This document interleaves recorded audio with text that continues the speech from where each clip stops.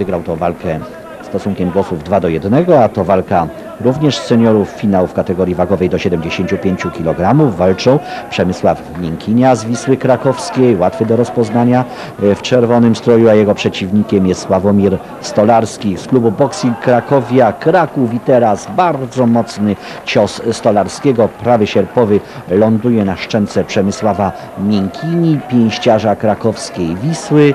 Sędzia liczy, ale to jest, proszę Państwa, knockout, koniec walki, druga runda. Raz jeszcze ten nokautujący cios Sławomira Stolarskiego, który w drugiej rundzie przez knockout zwycięża Przemysława Miękinie. Pięściarz Wisły Kraków nie był w stanie kontynuować tego pojedynku.